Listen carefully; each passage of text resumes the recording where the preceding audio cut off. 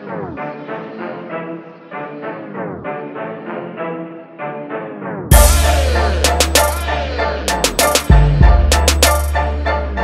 up guys, it's your girl Monica here on Nice Kicks with Fergie Ferg himself, young trap lord.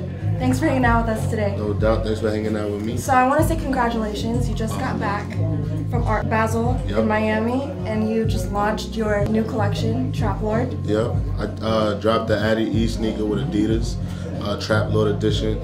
It dropped December 5th, sold out the same day on the Adidas website. Now we hitting these stores and we just doing it big, man. I'm not surprised at all. So what made you choose Addies? Because it's just taking it back to like the roots where I came from with the BMX bike riders and the skateboarders from Harlem. You know, we all stuck together, you know, growing up because we was the black sheep. So we hung out together, went to the same parties, wore the same kind of clothes, um, especially skateboarding sneakers. And that's what adiEase is, you know, it's a skateboarding shoe. And um, the silhouette is just dope. Like I added my monogram all over it. You know, did the custom sole inside with uh, Yams painting inside each one of them.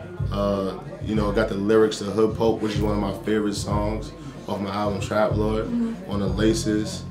And um, it's a light shoe. Like you could do a lot with it. You could dress down with it, or you could just hit the skateboard or go to, you know, do BMX bike ride with them too. So I just thought it was cool.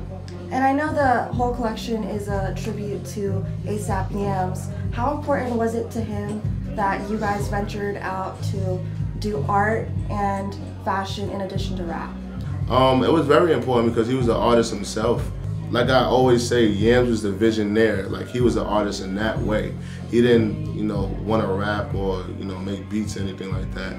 He his art was basically seeing the art in us and putting us together as a collective and um, branding us to where the world can digest us. Cause you you got to think about it. As much talent as I have, or Rocky have, or Nast, or Twelvyy or anybody from out of the group, that's a lot.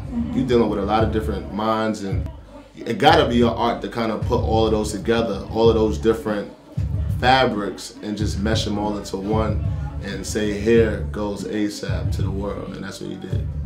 And you mentioned that Hood Pope was one of your favorite songs on your album, and I saw that on the heel of the shoe. Yeah. Why else did you choose it? Well, I choose Hood Pope because I felt like I'm making my transition from the Trap Lord to the Hood Pope. Trap Lord and Hood Pope is the same person. You know, they're both ASAP Ferg. But um, Trap Lord is the more lost one. You know, that's me being in the hood, not experiencing the world. Hood Pope is me experiencing the world, coming back to preach to my people, letting them know more conscious decisions or, um, you know, what I experienced on my voyage.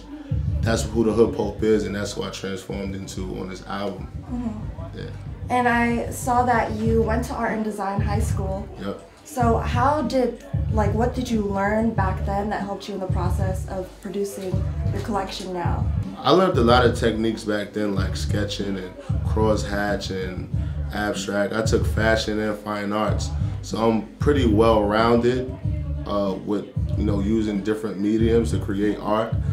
I think that helped in some sort of way. I'm not sure exactly what it was, but um, yeah. And then my father went to art and design high school as well, so you know that says a lot. You know, if he went there, he was very talented himself. You've brought back a lot of old school style. For example, like the gold frames, the um, different colored camo, Yeah, and even the like Versace, the Tommy, you know, that's me. I mean, I think that like, you know, from films, art, magazines, I feel like art was more potent than I feel like people wanted to do their own thing. People was more original back then. Now it's kind of watered down and it's hard to be original because, you know, nothing is really new under the sun.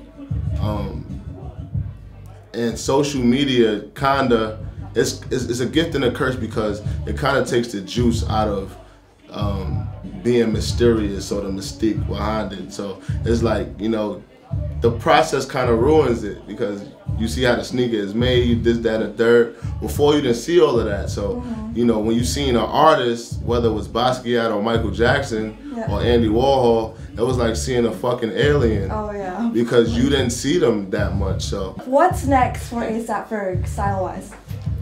um, style wise, I'm working on a collab with uh, AGOLDE, which is the child brand of Citizen for All Mankind. So I'm working on some denim jeans. Like I can see, I'm not sure if y'all can see my denim jeans right here, but That's psycho, right? yeah, it says Psycho, which is my uncle's name. I have a song called Psycho on my album, Always Strive and Prosper, my new album.